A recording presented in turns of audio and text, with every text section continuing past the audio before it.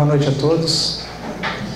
Ainda sob as vibrações da prece, nós rogamos a Jesus que nos abençoe a todos e a todos que essa casa chega. Nós nos sentimos muito felizes de estarmos aqui nesta oportunidade singela desta casa, na participação de mais essa Semana Espírita, que tem como condição maior a divulgação da nossa querida doutrina espírita. E certamente que quando aqui nos reunimos, num ambiente como este, temos o nosso coração voltado, sem sombra de dúvidas, para a aquisição das obras, para a quantidade de livros que hoje visitam as prateleiras espíritas, nos oferecendo esse recurso inestimável que a doutrina espírita traz para nós. Uma reunião como esta, nós aqui, nesse momento, neste salão, apresenta uma condição diferenciada.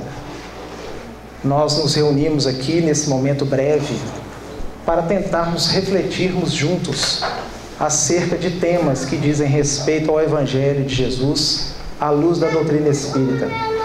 E nem sempre é de fácil aceitação de fácil assimilação para nós. A nossa construção religiosa nos séculos tem trazido para nós ainda inúmeras dificuldades de conseguirmos adentrar naquilo que a doutrina espírita vem trabalhar conosco nesses momentos iniciais em que nós, reencarnados aqui, entramos em contato nos nossos primeiros movimentos com essa doutrina. Falei difícil a todos, gente. Muitos de nós aqui nos encontramos nos primeiros relacionamentos com a doutrina espírita. Somos oriundos de uma construção religiosa que cumpriu o seu papel. Criou as bases em nossos espíritos para que nós consigamos agora, quem sabe, avançarmos mais na mensagem de Jesus, que acima de tudo fala para o espírito circunstancialmente reencarnado ou não. A mensagem do Senhor, no seu sentido mais amplo, no seu sentido universalista, fala para o espírito. E nós teremos que ter, quem sabe, um exercício de mente e de coração para começarmos a adentrar nesse terreno. Trazemos isso com muito respeito e com muito carinho a todos, porque encontramos também as nossas dificuldades na assimilação da mensagem que a doutrina espírita se faz portadora, em função das dificuldades, das deficiências que nós ainda apresentamos nessa dita construção religiosa. Nós estamos aqui com a incumbência de tentarmos abordar este tema, meu reino não é deste mundo, que nós vamos encontrar o registro no Evangelho de João, no capítulo 18.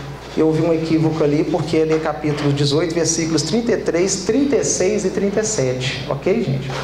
Nós reportamos a esses versículos porque são esses versículos que Allan Kardec apresenta em O Evangelho segundo o Espiritismo, no seu capítulo 2, Meu reino não é deste mundo. Então nós vamos ler a passagem rápida, ou melhor, os versículos, para depois tentarmos, quem sabe, avançarmos nesses pontos. Tá ok, gente? Nós vamos até nove e meia? Ok. Então, o Evangelho de João, no capítulo 18, nesses versículos, Pilatos, tendo entrado de novo no palácio e feito vir Jesus à sua presença, perguntou-lhe: És o rei dos judeus? Respondeu Jesus: Meu reino não é deste mundo. Se meu reino fosse deste mundo, lutariam os meus servos para que eu não fosse entregue aos judeus. Mas agora o meu reino não é daqui.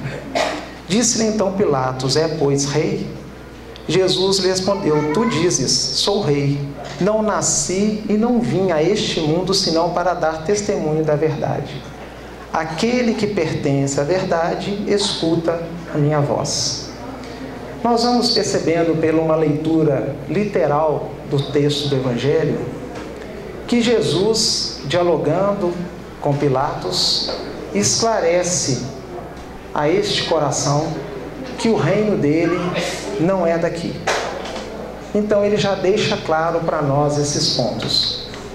Nós, quando adentramos no estudo da doutrina espírita, precisamos, antes de qualquer condição para que possamos avançar, começarmos a estruturar em nossa mente de forma mais ampla, quem sabe mais precisa, que nós somos espíritos, não somos corpos, somos espíritos utilizando do instrumento, da matéria, que é este corpo, utilizando das possibilidades, das circunstâncias que a providência divina nos otorgou para a nossa evolução, para o nosso aprimoramento. Mas não podemos esquecer que nós somos espíritos. Sendo então espíritos, a nossa pátria, a nossa origem é o plano espiritual. Nós envergamos um corpo para cumprirmos uma determinada missão, conforme nos esclarece Allan Kardec em O Livro dos Espíritos. Retornamos à vida espiritual, que é a nossa origem. Então, todas as ações, tudo que nós fazemos, tudo que nós pensamos, tudo que nós sentimos aqui traz repercussões para a vida espiritual. Tá claro até aqui, gente? Importante termos isso em conta. E certamente para que nós possamos avançar no conteúdo, indispensável se torna recorrermos a Allan Kardec, em que nós vamos encontrar então o codificador em O Evangelho segundo o Espiritismo, no capítulo 2, Meu reino não é deste mundo, no subitem A vida futura, ele esclarece para nós, porque esses versículos que aqui se encontravam expostos, abre o capítulo 2, logo em seguida Allan Kardec comenta para nós. Por essas palavras, Jesus claramente se refere à vida futura, que ele apresenta em todas as circunstâncias como meta a que a humanidade irá ter e como devendo constituir objeto das maiores preocupações do homem na terra. Todas as suas máximas se reportam a esse grande princípio. Com efeito, sem a vida futura, nenhuma razão de ser teria a maior parte dos seus preceitos morais. De onde vem que os que não creem na vida futura, imaginando que ele apenas falava da vida presente, não os compreendem ou os consideram pueris. Nós tivemos que ler tudo, porque na verdade era para abrir em duas etapas. Mas em função da mudança do Office, houve uma desconfiguração. ok, gente? Porque estava travada a segunda parte. Então nós lemos tudo, ok, gente? Então nós vamos percebendo pela fala do codificador, inaugurando-nos acerca desta construção do reino de Deus que não é daqui, que não é deste mundo, que quando ele fala esse respeito, Jesus, ele diz respeito à vida futura um dos princípios básicos da doutrina espírita, ou princípio fundamental da doutrina espírita, a vida futura. A dificuldade nossa, em nosso meio espírita, e falamos do meio espírita porque é o teto que nos abriga com tanto carinho nesta reencarnação. Então, por isso que nós abordamos os valores da doutrina espírita, de nós gravitando no espiritismo e das dificuldades nossas também no espiritismo.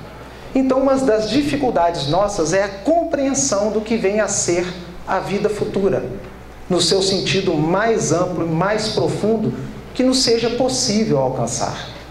Certamente que criaturas mais qualificadas, com amadurecimento maior do senso moral, compreenderão mais profundamente esse princípio. Tá ok, gente? Mas para nós, nós temos Allan Kardec já trazendo reflexões acerca desse princípio, porque ele mesmo apresenta para nós. Todas as suas máximas se reportam a esse grande princípio. Todas as máximas de Jesus, todo o ensino moral de Jesus se reporta a esse grande princípio, a vida futura. Qualquer ensinamento do Cristo diz respeito à vida futura, ok, gente? Por quê? Nós vamos avançar um pouco mais. Porque sempre que nós agimos, pensamos, sentimos neste momento, nós ainda não temos a noção exata das repercussões desse movimento da nossa alma, por vezes invigilante, para a eternidade. Deu uma ideia a todos rapidamente? Alguns podem dizer assim: Carlos, Mas o nosso menor sentimento, sem dúvida. O nosso menor pensamento, sem dúvida. Aquela ação que nós agimos de forma irreverente, sem atenção, sem dúvida. Porque nós ainda não conseguimos compreender as diversas facetas, as diversas consequências de um movimento insignificante nosso nas linhas das nossas, das nossas conexões espirituais e as repercussões que guardam para com o nosso próprio corpo. Está difícil, gente, que a gente está trazendo aqui, porque nós ainda acreditamos de uma forma distanciada do conteúdo essencial da doutrina espírita que os nossos movimentos não guardam relação para com a eternidade. Nós ainda não conseguimos compreender que movimentos nossos, e quando dizemos movimentos, é ação, pensamento, sentimento, tem repercussões com a vida espiritual. Rapidamente, para que a gente possa compreender. Nós, quando recorremos ao livro dos Espíritos de Allan Kardec, na sua introdução, nos itens 6 e no, no item 8, nós vamos encontrar Allan Kardec afiançando para nós que nós, o meio em que nós nos encontramos, atrai os espíritos que inspirarão, que trabalharão conosco. Deu uma ideia a todos, gente? A nossa aglomeração, nós encarnados, é que atraímos os espíritos que estarão conosco. Para que haja a presença de espíritos superiores numa assembleia num estudo espírita, é indispensável que haja seriedade, amor ao bem, vontade de nos instruirmos e de nos melhorarmos. Os Espíritos Superiores, narra Allan Kardec no item 8 de O Livro dos Espíritos, na introdução. Nós estamos falando da introdução, no item 8, que os Espíritos Superiores somente as reuniões sérias ocorrem. Somente. Então por que brincamos? Porque temos assembleias que levam as reuniões no conteúdo da brincadeira. Tenhamos a convicção clara, com base em Allan Kardec: não há presença ostensiva dos espíritos superiores. Importante considerarmos. Então, movimentos que nós acreditamos em função da nossa ainda ignorância no que diz respeito à profundidade da doutrina espírita, nos levam a equívocos de tal ordem. Nós ainda não conseguimos compreender que quando nós fazemos uma leitura de uma página, por exemplo, como foi lida aqui pela companheira no início da nossa reunião, e que tecemos um comentário ao sabor da nossa paixão, que repercussão isso vai ter no coração alheio que nesta casa adentra? Vamos trazer um exemplo a todos. É feita uma leitura para harmonizar o ambiente solicitado. E o Carlos faz a leitura aqui circunstancialmente. Faz um breve comentário, Carlos, é pedido. E o Carlos diz assim: pela página aqui, nós vamos perceber que o mentor espiritual está dando um belo puxão de orelha em nós. Isso é leitura do Carlos. Um coração que chega na casa visitado por um diagnóstico terminal. Um pai de família que sofreu desemprego. A esposa que foi abandonada. Adentra num salão como este e ainda recebe um puxão de orelha do mentor. Perceberam? Esse conteúdo é inoculado nesse coração e é com esse conteúdo que ela vai dar uma volta, quem sabe, de 300 anos porque nós não podemos garantir se vai voltar. Então nós estamos trabalhando com algo que diz respeito a uma construção de valores para nós e com repercussões para a vida. Ok, gente? Daí a amplitude, a, a dificuldade e, acima de tudo, o desafio para começarmos a compreender a grandiosidade que a doutrina espírita traz para nós e as graves responsabilidades que estamos investidos. Não é para causar temor em quem quer que seja, porque não é pedido por nenhum dos espíritos maiores que conduzem a nossa querida doutrina espírita no orbe terrestre oferecermos mais do que as nossas possibilidades podem garantir.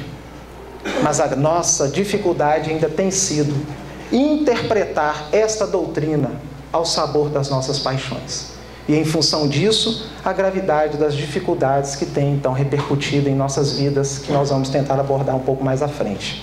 Até aqui tranquilo, gente? Tiverem dúvidas, vocês podem perguntar. Se a gente não souber, a gente encaminha a resposta em seguida para casa, ok, gente? E certamente tem alguns corações aqui que podem nos auxiliar. Então nós vamos percebendo que toda a mensagem de Jesus tem um conteúdo que diz respeito à vida futura. Vamos em frente. Continua Kardec. Esse dogma pode, portanto, ser tido como o eixo do ensino do Cristo, pelo que foi colocado num dos primeiros lugares à frente desta obra. É que ele tem de ser o ponto de mira de todos os homens. Só ele justifica as anomalias da vida terrena e se mostra de acordo com a justiça de Deus. Allan Kardec, na sua condição de pedagogo inigualável, traz em o Evangelho segundo o Espiritismo toda uma didática, toda uma construção para que nós, avançando na leitura sequencial da obra, consigamos ir absorvendo de forma mais ampla e mais justa o conteúdo que ela encerra. Então, ele mesmo declara que esse dogma foi colocado, ou esta informação, esse conteúdo acerca da vida futura, que tem base naquele, naquele versículo do Evangelho, que meu reino não é deste mundo, foi colocado num dos primeiros capítulos da obra. Para que nós não percamos esse referencial em toda a leitura da obra. Perceberam, gente? Então, quando nós vamos ler o Evangelho segundo o Espiritismo ou estudar algo acerca da caridade, no capítulo 15, fora da caridade, nossa salvação, nós vamos começando então a compreender que é todo aquele conteúdo que está ali apresentado, todo o nosso movimento abraçando a caridade, diz respeito à vida futura. Guarda relação estreita com a vida futura. Qualquer conteúdo, honrar pai e mãe, não saiba a vossa mão esquerda o que der a vossa mão direita, tudo isso tem uma sequência, ok, gente? Até aqui? Vamos em frente. E continua Kardec ainda nesse item. Jesus, porém, conformando seu ensino com o estado dos homens de sua época, não julgou conveniente dar-lhes luz completa, percebendo que eles ficariam deslumbrados, visto que não a compreenderiam. Limitou-se a, de certo modo, apresentar a vida futura apenas como um princípio, como uma lei da natureza, a cuja ação ninguém pode fugir. Por quê? Porque haveria necessidade que a ciência, a filosofia, o próprio amadurecimento da humanidade ocorresse para que nós pudéssemos então adentrar num conteúdo mais amplo, numa abordagem mais profunda, num aprendizado mais concreto do que vem a ser a vida futura, porque ela guarda relação estreita com a nossa vida original, que é a vida espiritual. Como explicar para um coração daquela época, para os espíritos daquela época, acerca da vida espiritual? Como elucidarmos a respeito de determinadas condições que somente hoje, com muita luta, temos tentado aprender? Vamos tentar nos fazer mais claros. Nós somos espíritas, vivenciamos o meio espírita. Tivemos agora, recentemente, já não faz muito tempo, a divulgação do, do filme Nosso Lar, não é verdade, gente? Foi veiculado, está aí passando ainda até hoje na televisão, graças a Deus. Uma belíssima obra que foi feita, ou psicografada, melhor dizendo, por Francisco Antes Xavier, que teve a sua adaptação no filme. O filme é belíssimo, tem os seus valores e os seus princípios doutrinários preservados. Mas o filme, em que pese a sua grande beleza e recomendarmos, sequer encerra 2% da obra. Mas não é esse o ponto que nós queremos abordar.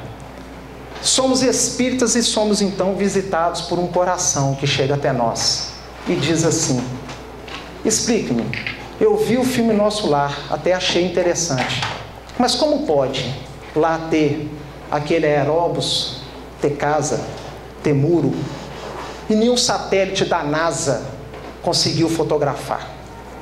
Como pode? Como explicar isso? Somente com o avanço da ciência, somente com o amadurecimento do nosso senso moral é que a doutrina espírita surgiu, trazendo-nos as bases para que nós possamos então termos recursos de ordem filosófica para explicar esta realidade. Falei complicado a todos, gente.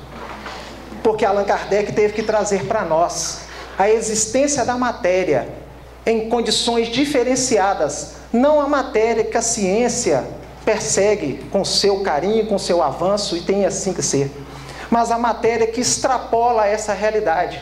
Porque, com base em um livro A Gênese de Allan Kardec, como no livro Evolução em Dois Mundos, de André Luiz na psicografia de Chico Xavier, é que nós vamos encontrar reflexões dessa ordem. Que a matéria na vida espiritual está para quem do hidrogênio e para além do urânio. Ficou difícil, gente? São elementos da nossa tabela periódica. Como é que a ciência vai detectar? Como? Perceberam? Então nós temos uma realidade que extrapola os mecanismos que a ciência atual pode absorver. Por isso é que ela não vai encontrar. Por isso é que o satélite não vai fotografar. Perceberam, gente? E assim a gente vai entender. Então nós precisamos destas condições para compreendermos toda a realidade que tem então nos visitado através das obras que narram a vida espiritual. Podemos avançar, gente? Está difícil? Então vamos em frente. Continua o codificador para nós, ainda no subitem a vida futura. Todo cristão, pois, necessariamente crer na vida futura.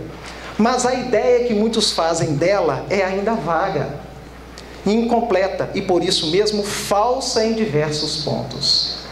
Para grande número de pessoas, não há a tal respeito mais do que uma crença balda de certeza absoluta, donde as dúvidas e mesmo a incredulidade.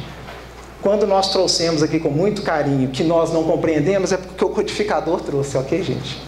ele afiança para nós que, em que pese estarmos abraçando o cristianismo, estarmos nos candidatando a esta condição de cristãos que a doutrina espírita resgata em sua essência, nós ainda temos uma ideia, quem sabe simplória, acerca do que vem a ser a vida futura.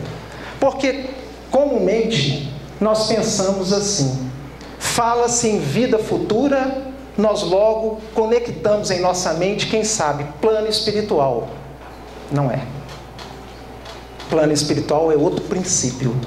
Vida futura diz respeito a uma condição que se perpetua, que se irradia. Tá passando uma ideia a todos, gente? Não é plano espiritual. Plano espiritual é ambiência. Tá claro? Vida futura vai para além. Porque um movimento nosso cria repercussões para quando? Perceberam? Quantas aflições, quantos testemunhos, quantas dores nos visitam hoje e nós acreditamos simploriamente. Falamos assim para a esposa: Ah, deve ter saqueado aldeias na encarnação passada. Que nada. Determinados karmas, determinadas condições que nós vivenciamos hoje têm repercussões há mil anos atrás. Só chegaram agora porque nós não, temos, não tivemos condições de arcar com esse débito no tempo. Perceberam? Muitas das dificuldades estão de forma imediata. Mas qual de nós pode precisar as dificuldades que vivenciamos hoje, desafios, testemunhos, provas que guardam relação com a época do Cristo? E vamos tentar fundamentar para todos. Consta da bibliografia espírita, com muito carinho, que Emmanuel no livro Há Dois Mil Anos, ele faz para nós essa narrativa, como o senador Públio Lento Sura. Nós vamos encontrar Emmanuel, então, como um senador romano, encontrando com Jesus na época da passagem do Senhor na terra, numa praia. E Jesus diz a ele algo nesse sentido: está agora no teu querer seguir-me, ou daqui nos séculos. Perceberam, gente? E o Emmanuel, então, na época, é importante dizermos que não era Emmanuel, era Públio Lentos, que Emmanuel é o espírito atual, modificado. Perceberam, gente? Emmanuel, ou Públio Lentos, na época, preferiu vivenciar a sua vida. Consta na narrativa desse espírito através de Chico, que nós vamos encontrar relatos de alguns companheiros que conviveram com Chico, que ele só pôde resgatar aquilo que ele deixou de fazer na época com Cristo como padre Manuel da Nóbrega, 1500 anos depois. Então nós temos um pensamento simplório. Temos uma dificuldade com a nossa sogra, fala assim: não, essa eu vou largar para a próxima. Essa próxima pode ser daqui a 700 anos. Perceberam? Porque nós não somos donos da evolução de ninguém. Então nós estamos trabalhando um tema que diz respeito a um movimento em que nós não temos o domínio. Ok, gente, até aqui? Então, são as, essas são as reflexões de profundidade. Insistimos, várias das dificuldades que temos, que vivenciamos, guardam relação com a reencarnação imediatamente anterior. A criatura, por exemplo, que incorreu numa falta grave, abortos, suicídios, determinadas posturas extremamente complexas, em função da desagregação da estrutura do perispírito, que é o corpo espiritual, esse perispírito é o modelador do corpo físico, então, em função disso, na reencarnação imediatamente posterior, eis as repercussões. Até aqui tranquilo, gente? Acompanhar? Então, nós vamos encontrar sim, como também linhas que não guardam relação com a nossa própria constituição material, dificuldades que vivenciamos em reencarnação interior de relacionamentos e outros pontos. Tranquilo? Então vamos em frente. Ponto de vista também, ainda no capítulo 2, Meu Reino Não É Deste Mundo, de Allan Kardec, no Evangelho segundo o Espiritismo, né? De Allan Kardec. A ideia clara e precisa que se faça da vida futura proporciona inabalável fé no porvir Fé que acarreta enormes consequências para a moralização dos homens, porque muda completamente o ponto de vista sobre o qual encaram eles a vida terrena. Compreendendo, assimilando de forma mais precisa, mais ampla acerca da vida futura, nós vamos compreendendo também, porque muda o nosso ponto de vista, tudo que nós vivemos nesta vida. Então, quando nós estamos sendo visitados principalmente pelas dificuldades, pelos testemunhos que somos, por vezes, convocados a vivenciar, quem sabe cria em nós maior dose de resignação, maior perseverança na aceitação à vontade divina, mais coragem, mais fibra para continuarmos na luta porque nós temos agora, começamos a vislumbrar que determinadas dificuldades e testemunhos que nós vivemos aqui no plano da Terra vão nos libertar para a vida futura. Deu uma ideia a todos, gente? Mas não é bem assim que acontece. A gente parece até que está desanimando a todos, né? Na hora que surge o testemunho, a primeira providência do trabalhador, do frequentador, é vir ao Manuel Felipe Santiago para ver se a gente conversa com o mentor, para ver se tira a dificuldade. Não é assim? E se não tira, nós ficamos até por quê? O que, que eu fiz? Eu sou um trabalhador, eu estou aqui envolvido na tarefa, perceberam? Mas o Senhor não está trabalhando com o plano exterior da tarefa que nós estamos envolvidos. Ele diz respeito ou constrói o espírito no seu âmago. Tranquilo até aqui, gente? Vamos compreendendo por que, que nós fizemos uma citação breve acerca do livro Nosso Lar. Nós aprendemos vendo um filme de forma mais superficial acerca do bônus horas, não é verdade? Muitos de nós espíritas sabem hoje, reconhecem o que é o bônus hora. O bônus hora, então, diz respeito àquela hora de dedicação lá na colônia espiritual em favor da colônia acumulando determinados bônus horas, nós conseguimos então, quem sabe, inclusive interceder em favor dos corações que estão aqui na Terra. É o caso que é registrado de forma superficial no filme Nosso Lar, daquela senhora que senta para conversar com o ministro, junto com André Luiz, lembra-se? E ela fala lá que não gostava de trabalhar, aquela questão toda. No livro tem o mesmo princípio ela tinha dificuldade de adaptação ao trabalho da colônia. E ela foi ao ministro para pedir em favor dos seus filhos. na terra. É nobre para uma mãe pedir em favor dos filhos? É. Mas foi perguntado a ela: quantos bônus horas você tem? Ela diz: 300 e pouco. Isso não é suficiente. E aí alguns podem pensar assim: meu Deus, e os filhos da senhora, como é que vão ficar? Estão debaixo do teto da misericórdia divina. Mas em função dos recursos que ela apresentou, não é suficiente para deslocar uma equipe da colônia Nosso Lar para ir lá assisti-los. Percebeu, gente?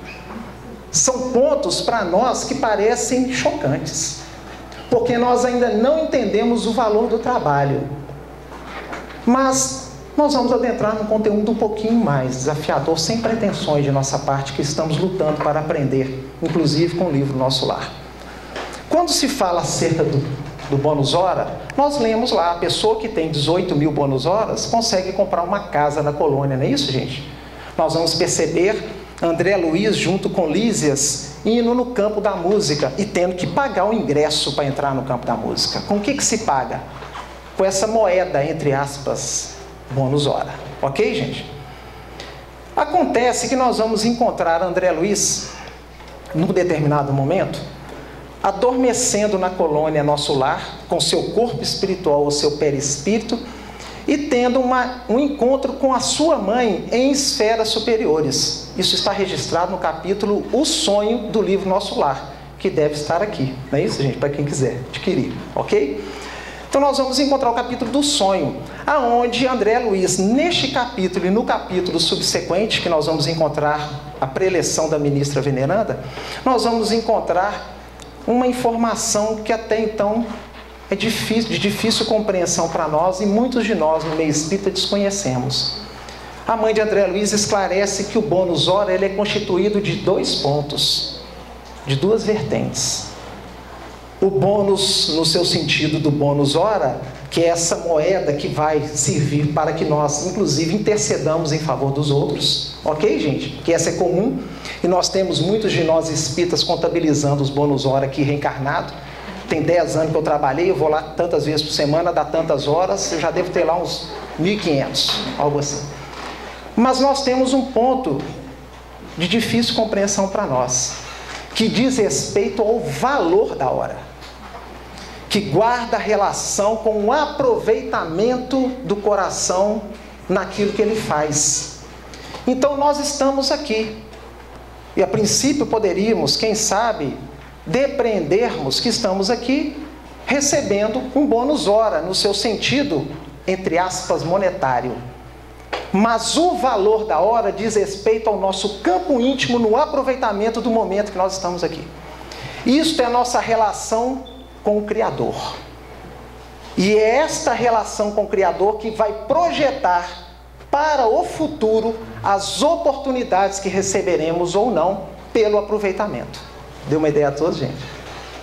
Estão começando a ter uma ideia do que vem a ser a vida futura? A criatura trabalha na casa espírita, na, na campanha do quilo. Tem 10 anos que ela frequenta. Mas qual o aproveitamento que ela retirou no seu campo íntimo no que diz respeito ao aproveitamento da hora?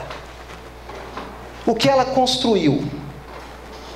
Esta é a grande repercussão para a vida futura. Por isso o reino de Deus não vem com aparência exterior.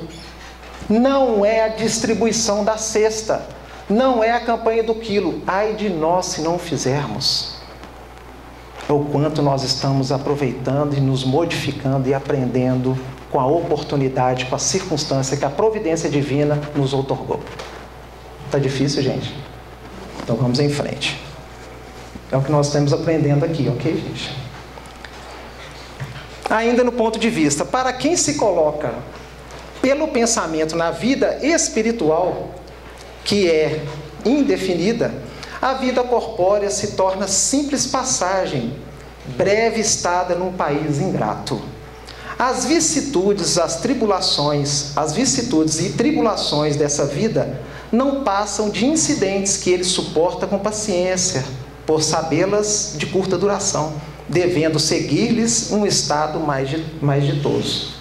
Então, aquele que se coloca pelo pensamento na vida espiritual que se projeta para a vida futura, sabe que as circunstâncias, as dificuldades, os desafios têm um teor transitório, seja de resgate, naquela linha da expiação, mas guarda também, sem sombra de dúvidas, aquela condição de prova.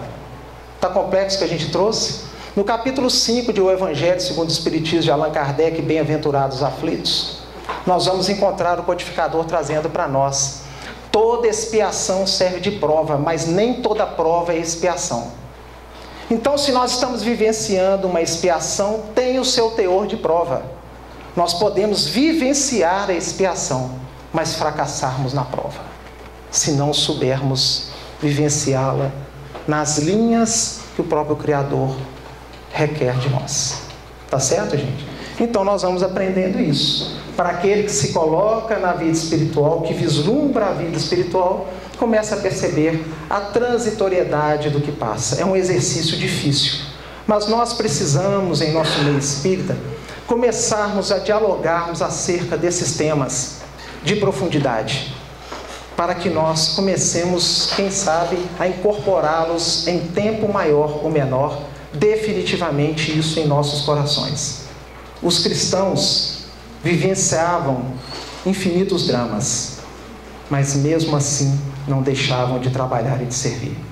Se quisermos conhecermos o que é cristianismo na sua essência, na sua profundidade, é com a leitura dos romances de Emmanuel na psicografia de Chico Xavier, sem o qual nós estaremos ainda, quem sabe, na periferia do entendimento profundo do que vem a ser o cristianismo na sua condição mais pura e mais simples. Continuando. Deus, conseguintemente, não condena os gozos terrenos, condena sim o abuso desses gozos em detrimento das coisas da alma. Contra tais abusos, é que se premunem os que a si próprios aplicam essas palavras de Jesus: Meu reino não é deste mundo. Nós vamos percebendo na abordagem do nosso querido codificador que não há uma condenação àquilo que nós vivemos na terra de forma nenhuma.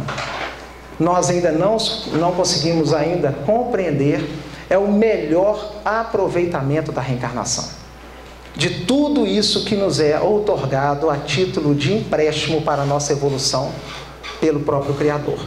Aproveitamento, sabermos usar para que alcancemos condições melhores na vida espiritual. Mas nós nem sempre somos felizes. Aferroamos às questões terrenas. Somos trabalhadores valorosos na casa espírita e aqui não vai nenhuma crítica com relação ao zelo a administração dos bens terrenos que nós temos. Somos trabalhadores da casa espírita. Fazemos até palestras, quem sabe estudos na evangelização, na reunião pública. Dialogamos com o espírito acerca das questões de ordem material, das dificuldades que elas trazem. Mas na hora que nós chegamos em nossa casa, no nosso prédio, no nosso condomínio ou na via pública, e alguém arranha o nosso carro, é o fim para o trânsito, para tudo.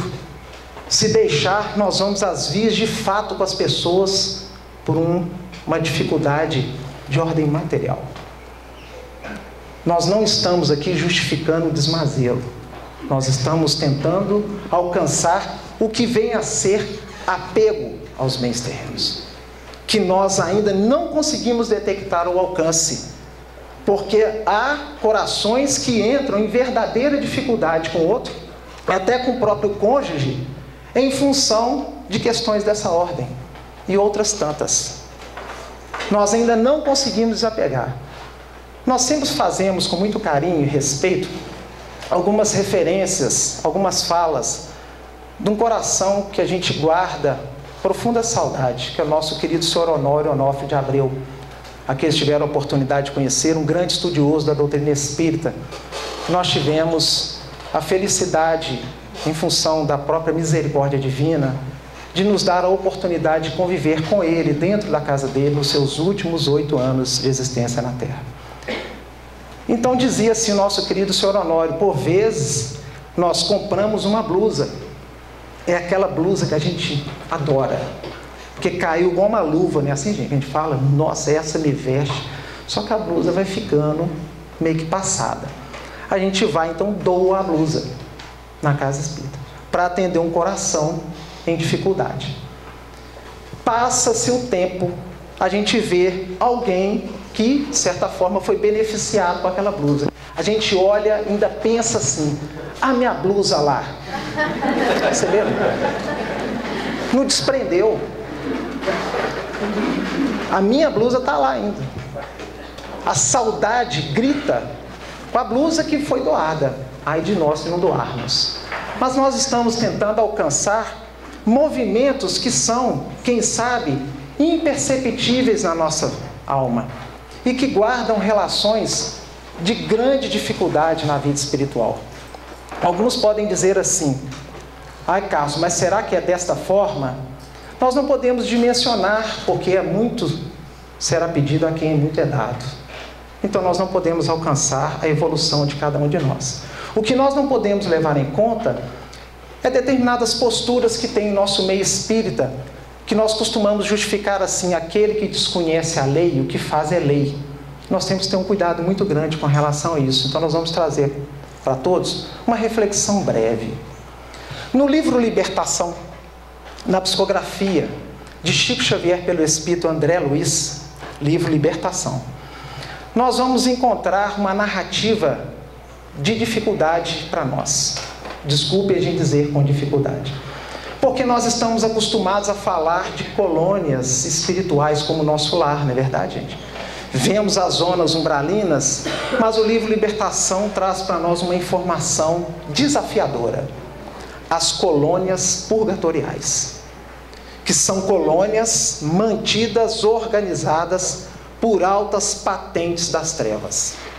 Espíritos com grande conhecimento técnico, com grande conhecimento, inclusive religioso, mas de moral extremamente complexa. Então, nós temos uma narrativa dessa colônia purgatorial, em que André Luiz vai visitar uma colônia dessa porque vai se desenvolver um trabalho muito bonito junto com Gubbio nesse livro. Nessa visita à colônia purgatorial, eles como que densificam o perispírito para se misturarem à população daquela ambiência, porque as colônias purgatoriais estão, vamos dizer assim, inseridas, estão posicionadas nos umbrais mais densos, mais complexos. E nós vamos encontrar uma narrativa a respeito dos espíritos que desencarnam em determinadas dificuldades na Terra e que são imediatamente levados para essas colônias e mantidos lá como reféns, como escravos daquele concerto. Então, inúmeros espíritos desprendem do corpo físico e já são como que arrebanhados e levados para essas colônias. Então, há lá, nessas colônias, não se assustem, tá ok, gente? A seleção por débitos comuns dos espíritos. Em esferas espirituais maiores, os espíritos olham para nós e já identificam em nós, em função das nossas irradiações que estão registradas no perispírito, as dificuldades que nós incorremos, ou as vitórias, os êxitos que nós alcançamos na nossa vida. Mas nessas colônias é passado um aparelho eles têm um aparelho lá que mede a irradiação do espírito e vai. Esse aqui é assassino, vai para lá. Então até a turma dos assassinos. Esses aqui são traidores, a turma dos traidores. E é o momento que eles pegam, passam o aparelho e falam assim: esse aqui, são, esse aqui é caluniador, vai para a turma dos caluniadores. E um dos espíritos que está lá, que foi levado para a turma dos caluniadores, diz assim: Espera aí, só um minutinho. Tá, deve estar tá tendo havendo algum engano aqui. Eu não sou caluniador. Porque na nosso, no nosso entendimento, o que é caluniador? É quem fala dos outros, não é verdade? A luz da doutrina espírita vai para além. Daí a indispensabilidade do estudo da obra espírita. Allan Kardec, a obra psicografada por Chico Xavier, para nos trazer as bases seguras do entendimento maior. E ele diz então: Eu não sou caluniador, está tendo algum engano. É como nós, né, gente? Quando alguém fala alguma coisa de nós, você pode falar qualquer coisa de mim, mas isso não, não é verdade? E o responsável pela seleção diz assim: Como não? Como você não é caluniador? Você caluniou seu corpo, inventando doenças que ele não tinha, a fim de conseguir uma aposentadoria prematura, fugindo do trabalho enobrecedor, sob a justificativa que iria ajudar a sua família. Ou seja, no popular, ele deu um golpe na Previdência. Ok, gente? Sabia de colônias purgatoriais? Sabia dessas consequências? Não há registro. Porque a grandeza da obra de Chico é que quando a criatura tem atenuantes, são registrados atenuantes. Quando tem agravantes, fala-nos dos agravantes. A profundidade da psicografia de Chico Xavier tem essa característica inigualável nas obras espíritas. Então, esse companheiro estava refém de uma colônia purgatorial por ter dado um jeito na Previdência. Então, nós ficamos a pensar em movimentos nossos e não vai aqui nenhuma crítica, porque este é o papel da obra espírita séria. É quando nós adentramos na leitura que nós nos posicionemos acerca do que nós estamos lendo. Mas a gente gosta de terceirizar. Quem tinha que estar lendo esse livro aqui é minha mulher. Não é verdade? É meu marido. Não é isso? É meu filho, mas não é a gente, porque ele não está pronto ainda, não chegou, pelos mecanismos da providência divina. Então a gente fica a pensar: quantos de nós, em nossa vida, não arrumamos um atestado médico para poder emendar um feriado? Quais são as repercussões desses movimentos para com a vida futura? Porque este coração que ficou refém Quanto tempo ele vai permanecer numa colônia purgatorial lá naquela seu sentido escravo? Até conseguir ser liberado para que haja uma próxima reencarnação. Quantos séculos? Se não houver um movimento maior na esfera espiritual, muito tempo ele lá permanecerá. Resultados que nós não conseguimos observar, não conseguimos identificar, pelo desconhecimento, pela desídia de não querermos avançar no estudo da doutrina espírita para a nossa própria formação, corrigindo movimentos nossos que nós ainda não atentamos. Podemos avançar, gente? O tema é difícil, né? Vai longe. Continua. Aquele que se identifica com a vida futura assemelha-se ao rico que perde sem emoção uma pequena soma. Aquele cujos pensamentos se concentram na vida terrestre assemelha-se ao pobre que perde tudo o que possui e se desespera. Então, aquele que começa a entender ou se identifica com a vida futura vai se assemelhar ao que, gente? Aquele rico que perde uma pequena soma, mas não se preocupa. Tá certo, gente? É essa a condição. Então vamos lá. Continua. Para se granjear um lugar neste reino, meu reino não é deste mundo, não é verdade? Mas para a gente ir para esse reino, alcançar esse reino, para se granjear um lugar neste reino, são necessárias a abnegação, a humildade, a caridade em toda a sua celeste prática, a benevolência para com todos. Não se vos pergunta o que fostes, nem que posição ocupastes, mas que bem fizestes, quantas lágrimas enxugastes. Não é perguntado se o Carlos foi presidente da Casa Espírita por 20 anos, isso não importa. Importa é a abnegação, é a humildade que ele cultivou. É perguntado a caridade em toda a sua celeste condição.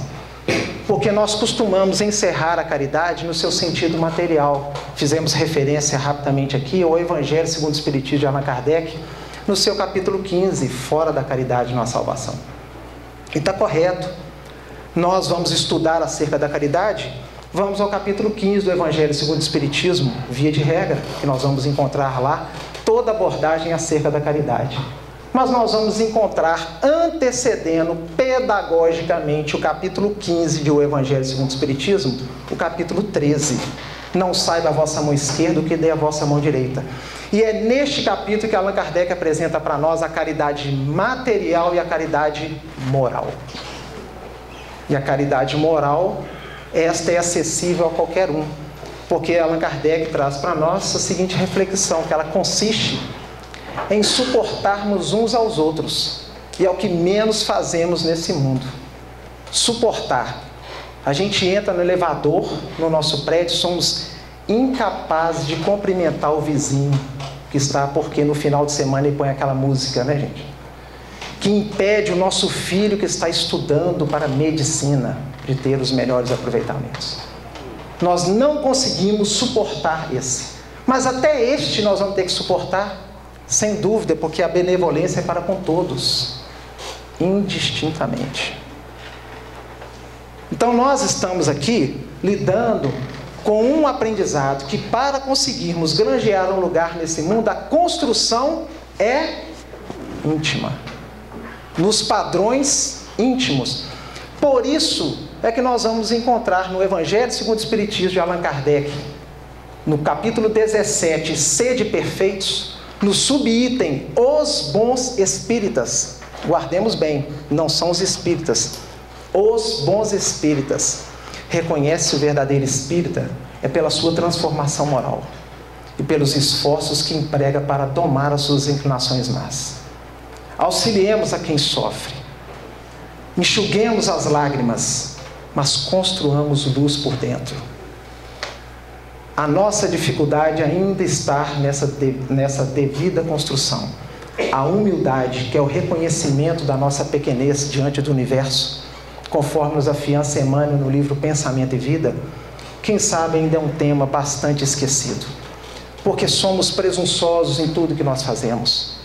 Ainda somos aqueles corações que atendemos o sofredor numa condição de não compreendermos que estamos na condição de auxiliar, porque a providência divina nos otorgou essa oportunidade, porque era para a gente estar do outro lado. Aprendemos isso com o livro Os Mensageiros, na psicografia de Chico Xavier pelo Espírito André Luiz.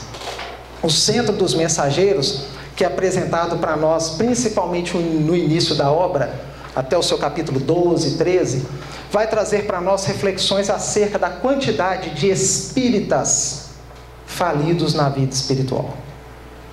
Nós vamos encontrar a preleção de Telésfero, é um espírito que fala faz uma preleção para todos aqueles aprendizes do centro dos mensageiros, deve estar todo mundo desanimado, né, gente?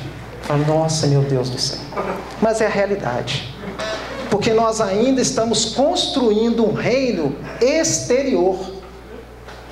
Não estamos efetivamente começando a dialogar conosco dentro daqueles princípios que Santo Agostinho começa a apresentar para nós no Livro dos Espíritos. Conhece a ti mesmo, eu ainda estou indo para a tarefa espírita com o peito cheio.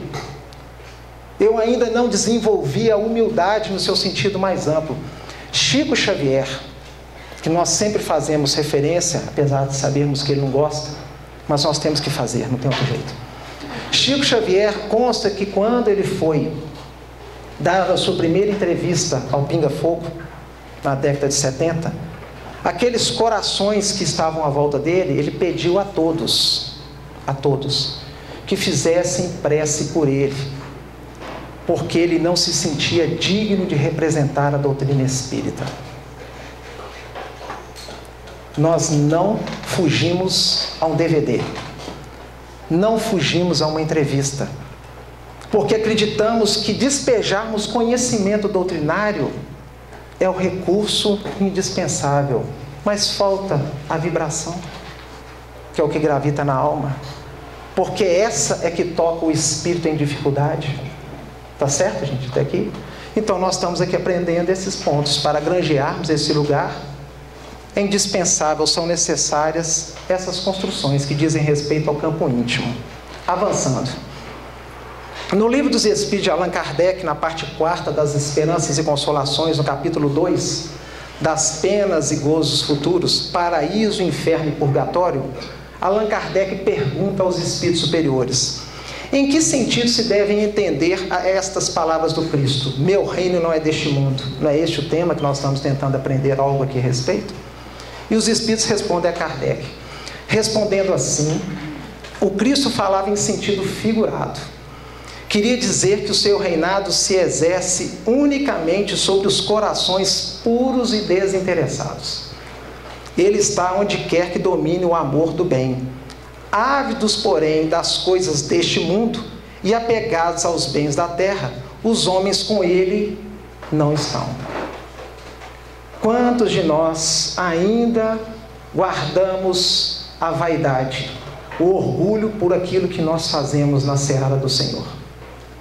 Se o reino de, que Jesus promete para nós guarda uma exerce unicamente se exerce unicamente sobre os corações puros e desinteressados, a dificuldade nossa, quem sabe, está em cultivarmos o desinteresse.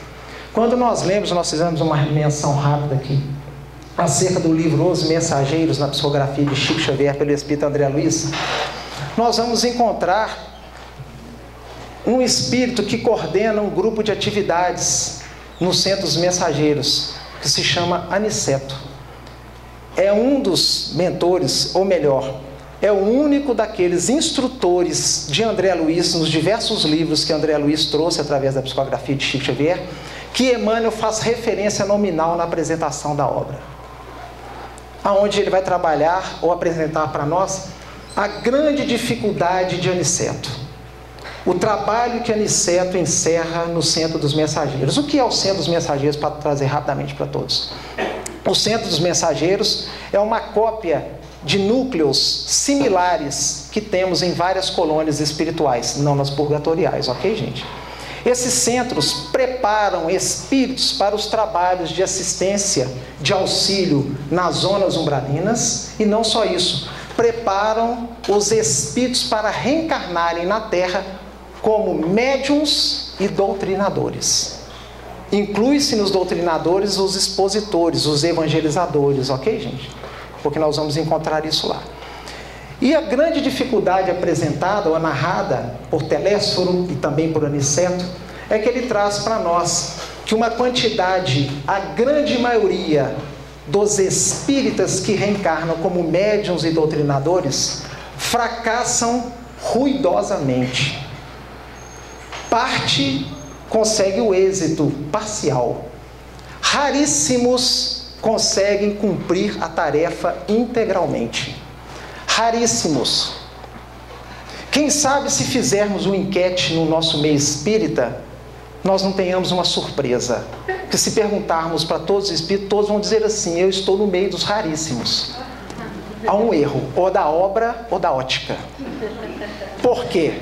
Porque a construção não é exterior, é no campo íntimo. Fazemos mas não edificamos. Não somos capazes ainda de conquistarmos os valores do desinteresse, do desapego, da abnegação, do servir por amor ao próprio bem, sem buscarmos qualquer linha de recompensa ou de reconhecimento. É o trabalho que a Aniceto desenvolve. E para isso André Luiz passou por uma entrevista complexa, porque a Aniceto ficou fazendo a leitura no campo íntimo de André Luiz para ver se aceitava ele no seu núcleo de aprendizado. Porque ele tem 50, ele lá no livro narrado, ele tinha 50 trabalhadores, ou melhor, 50 vagas, e só tinha 47 trabalhadores. Três vagas no grupo de Aniceto, para uma colônia com mais de um milhão de habitantes. A gente fica a pensar, que seleção é essa? Tamanha a dificuldade. Porque lá, para trabalhar com ele, acima de tudo, ele trabalha com desinteresse. Tá claro, gente? Até aqui, vamos em frente. Tá puxado? Vamos em frente. O Evangelho segundo o Espiritismo, de Allan Kardec, na introdução, o objetivo desta obra. Allan Kardec vai trazer para nós, na introdução, que o Evangelho é dividido em partes, mas ele salienta a respeito do ensino moral como a condição maior dessa obra, e ele traz para nós. Para os homens em particular, constitui aquele código uma regra de proceder que abrange todas as circunstâncias da vida privada e da vida pública. O princípio básico de todas as relações sociais, que se funda na mais rigorosa justiça. E, finalmente, acima de tudo, o roteiro infalível para a felicidade vindoura, o levantamento de uma ponta do véu que nos oculta a vida futura. Essa é a parte que será objeto exclusivo desta obra. O objeto exclusivo da obra que Allan Kardec se propõe é o ensino moral do Evangelho. Ele não aborda, não adentra no seu sentido mais amplo em conteúdos exegéticos, que são objeto de controvérsias entre as inúmeras religiões.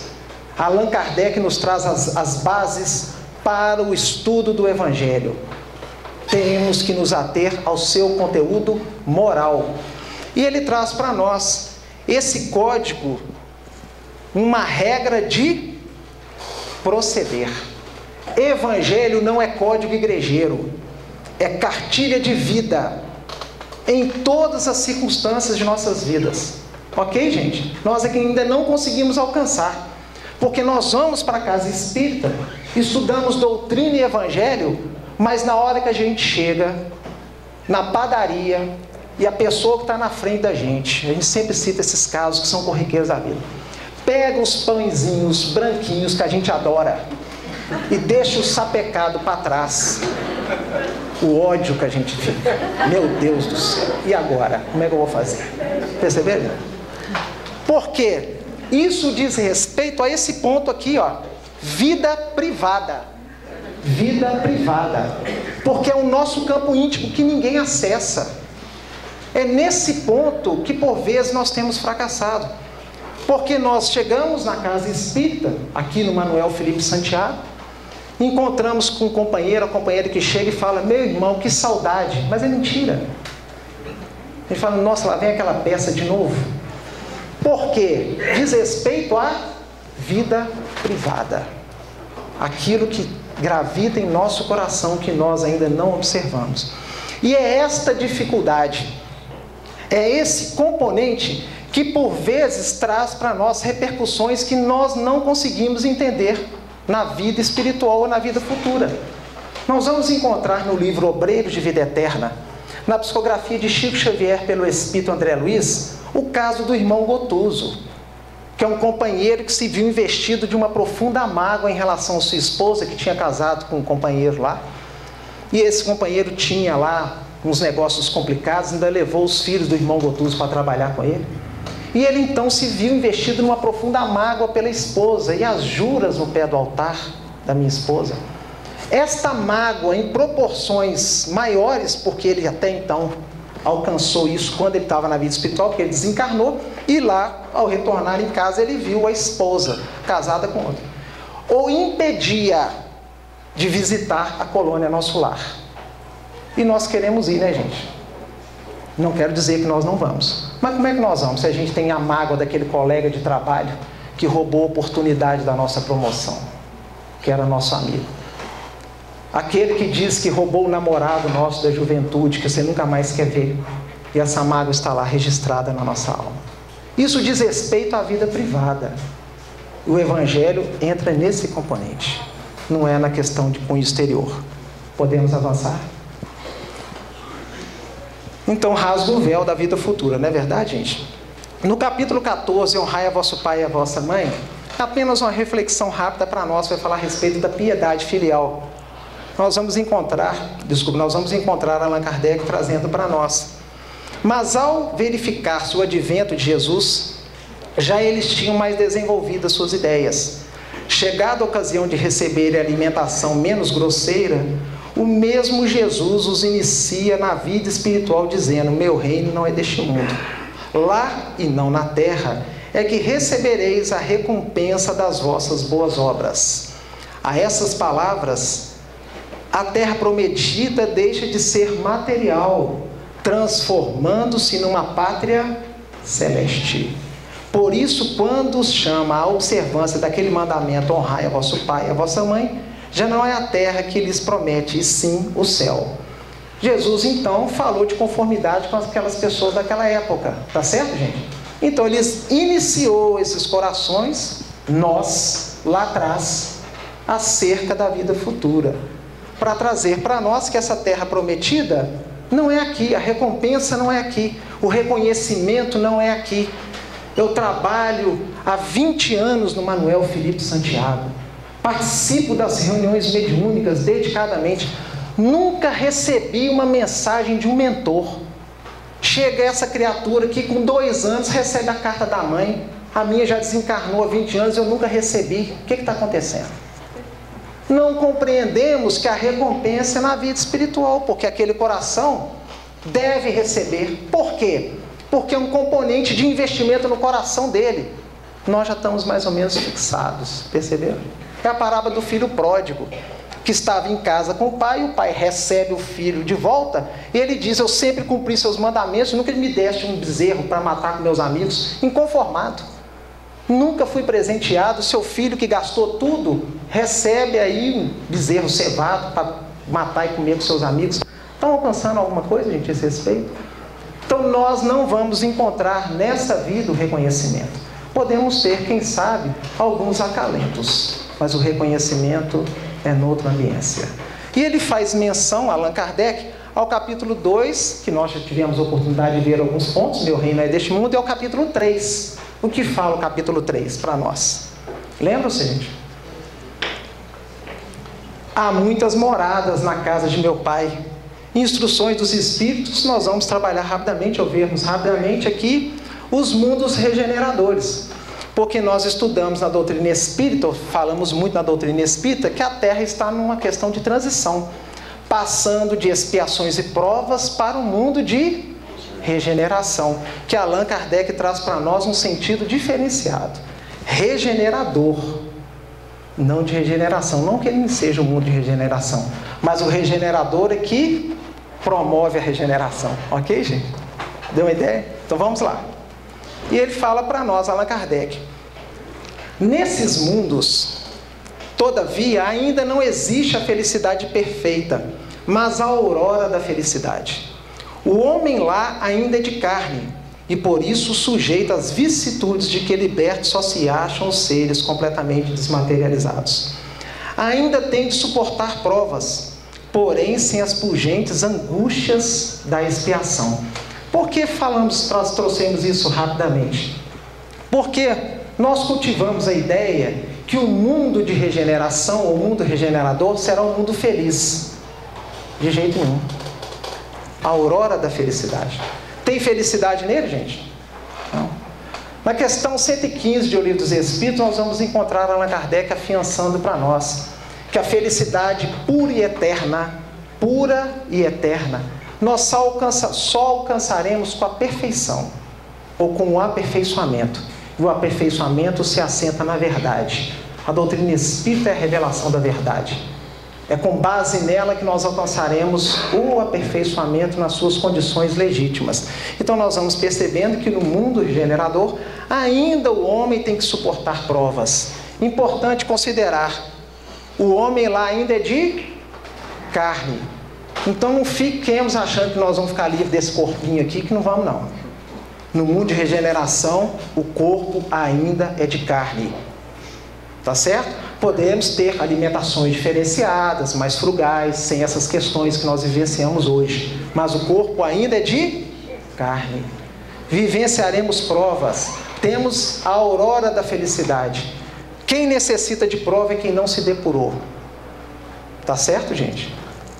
Vamos em frente. Mas ah, nesses mundos ainda falível o homem, e o espírito do mal não há perdido completamente o seu império. O homem é falível, gente, no mundo de regeneração? É. O espírito do mal foi banido? Não. Allan Kardec, o Evangelho segundo o Espiritismo. Olhe bem. Não avançar é recuar. E se o homem não se houver firmado bastante na senda do bem, pode recair nos mundos de expiação, onde então novas e mais terríveis provas o aguardam. Coração, o espírito está lá todo feliz no mundo de regeneração, achando que assim, agora eu não volto para trás, não é verdade, gente? Mas a questão não é voltar para trás. A questão é de firmarmos na proposta do bem. Porque a disciplina é que antecede a espontaneidade. Por isso, Emmanuel recomendou a Chico: disciplina, disciplina, disciplina. Nós ainda não entendemos. Porque se nós queremos efetivamente alcançarmos as linhas do amor, construamos primeiro em nós a espontaneidade. Porque o Evangelho, o amor, não agride consciências. Mas nós precisamos primeiro estarmos disciplinados. Vamos dar um exemplo prático. Está aquele tempo nublado, né, gente? Caindo aquele sereno, domingo, 8 horas da manhã, a hora da campanha do quilo. Fala assim, nossa, Hoje eu não levanto dessa cama de jeito nenhum. Vou ficar aqui bem no quentinho, não é verdade? Aí o Ricardo liga pro Carlos lá. Carlos, você vai ou não vai na campanha do quilo? Tô indo. Não ia nada. Mas vai pela disciplina. Porque indo, perseverando, aquilo vai como que adentrando e se tornando espontâneo. Ok, gente? Para em seguida a gente alcançarmos as linhas do amor em tem maior tempo ou menor tempo. Podemos avançar? Então vamos. Livro dos Espíritos, Allan Kardec, na parte segunda do Mundo Espírita, ou Mundo dos Espíritos, no capítulo 6, da vida espírita, recordação da existência corpórea. Nós vamos Allan, ver Allan Kardec trazendo para nós a seguinte pergunta, 306, no item B. Entrever o espírito o objetivo da vida terrestre com relação à vida futura? Acompanhar a pergunta, gente? Entrever o espírito o objetivo da vida terrestre com relação à vida futura? E Allan Kardec então recebe a seguinte resposta: Certo que o vê e compreende muito melhor do que em vida do seu corpo. Compreende a necessidade da sua purificação para chegar ao infinito e percebe que em cada existência deixa algumas impurezas. É por isso que nós vamos encontrar Dona Laura no livro Nosso Lar, dialogando com André Luiz e falando acerca da reencarnação que ela estava programando. Que o marido dela já se encontrava reencarnado e ela diz assim: Nós guardamos ainda grandes débitos para, para com as instituições da terra. Dona Laura, aquela criatura numa condição totalmente diferenciada, instruindo André Luiz. Guarda grandes débitos para com as instituições da terra. Então ele entrevê o que tem que passar. Percebe, gente? Nós vamos compreendendo as dificuldades. Lísias dialogando com André Luiz, quando ele vai apresentar no capítulo Campo da Música, ele vai apresentar a sua noiva, porque tem noivado lá na colônia Nosso Lar, tá ok, gente? A gente lê lá no livro e vai ver que tem. A sua noiva ele vai apresentar a sua noiva para André Luiz. Ele diz que estavam os dois preparando uma casa, um núcleo para os dois na colônia Nosso Lar e programando a reencarnação deles para cerca daí a 30 anos. E ele fala para André Luiz que eles haviam fracassado em várias oportunidades, na maioria pela liberdade concedida aos homens na terra, mas que mais por culpa dele eles tinham fracassado nas suas uniões. E ele ainda relata: tenho ainda débitos para com as instituições da terra. Reflitamos nisso. Lisas declara isso para reencarnar com a sua noiva, ok, gente? Onde eles tentariam então ter êxito na sua vida conjugal. E Lisas é o grande instrutor, quem sabe, de André Luiz em todo o livro Nosso Lar. Ok, gente? Até aqui? Vamos em frente. No livro O Consolador, na psicografia de Chico Xavier, pelo Espírito Emmanuel, nós vamos encontrar a seguinte pergunta. 150. É possível que os espiritistas venham a sofrer perturbações depois da morte? Nós somos espíritas. Nós poderemos sofrer perturbações depois da morte? A morte não apresenta perturbações à consciência reta e ao coração amante da verdade e do amor dos que viveram na terra, tão somente para o cultivo da prática do bem, nas suas variadas formas e dentro das mais diversas crenças. Emmanuel faz acepção de crença? De forma nenhuma. Não importa a crença, importa é nós abraçarmos o cultivo da prática do bem nas suas variadas formas. Quem vive a prática do bem nas suas variadas formas desencarna em tranquilidade. Ok, gente? Continua Emmanuel. Que o espiritista cristão não se considere o seu título de aprendiz de Jesus como um simples rótulo, ponderando a exortação evangélica: muito se pedirá de quem muito recebeu, preparando-se nos conhecimentos e nas obras do bem, dentro das experiências do mundo para a sua vida futura quando a noite do túmulo houver descerrado aos seus olhos espirituais a visão da verdade, em marcha para as realizações da vida imortal.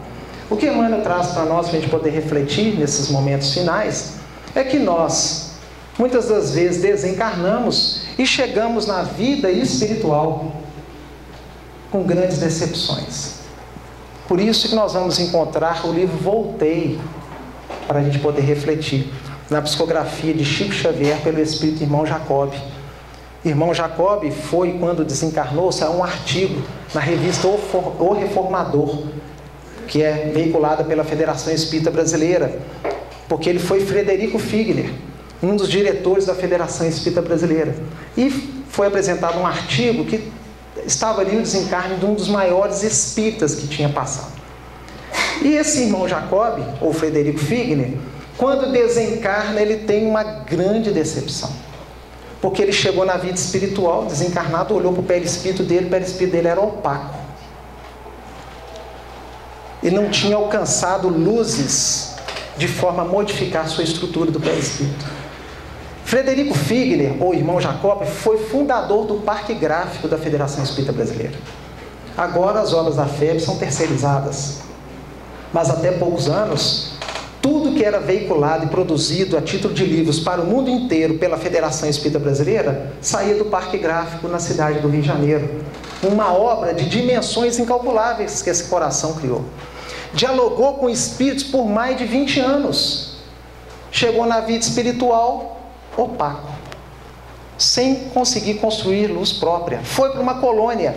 Ele via as criancinhas aureoladas de luz e ele lá opaco para a gente não ficar triste, lá no penúltimo capítulo ele que consegue constituir alguma luz no perispírito. Leiamos o livro.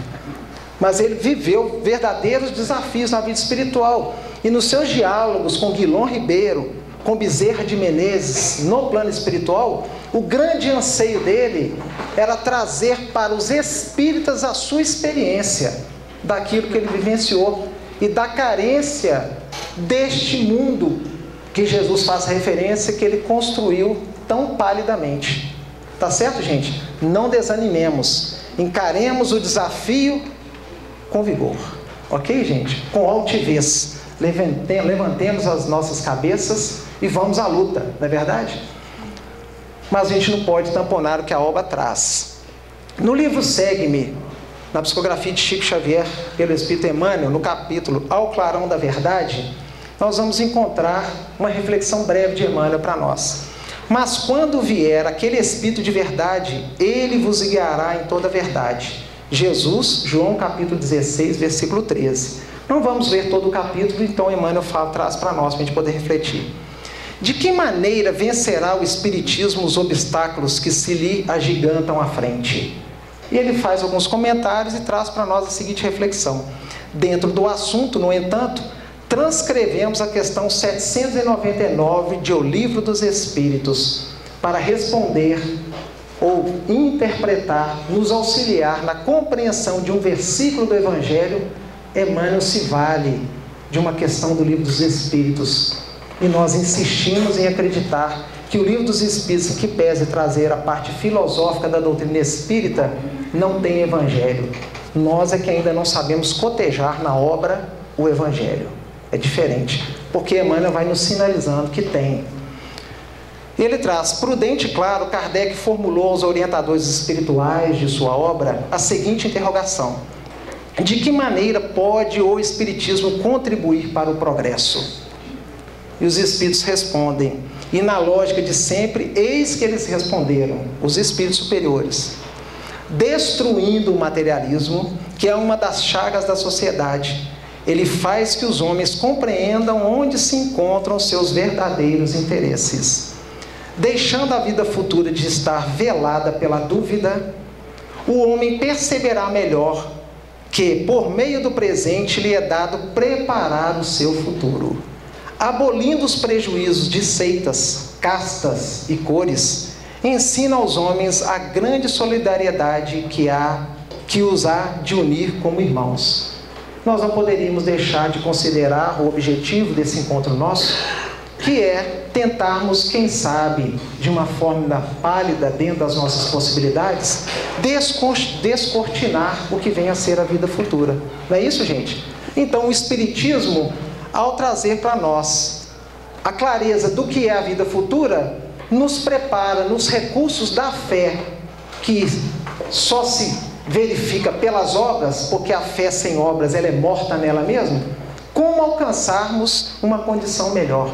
Como alcançarmos ou adentrarmos nesta condição da vida futura, que é o tema de hoje, ou a construção do reino, que não é deste mundo que Jesus nos fala. E continua: Não nos iludamos com respeito às nossas tarefas. Somos todos chamados pela bênção do Cristo a fazer luz no mundo das consciências, a começar de nós mesmos, dissipando as trevas do materialismo ao clarão da verdade, não pelo espírito da força, mas pela força do espírito a expressar-se em serviço, fraternidade, entendimento e educação.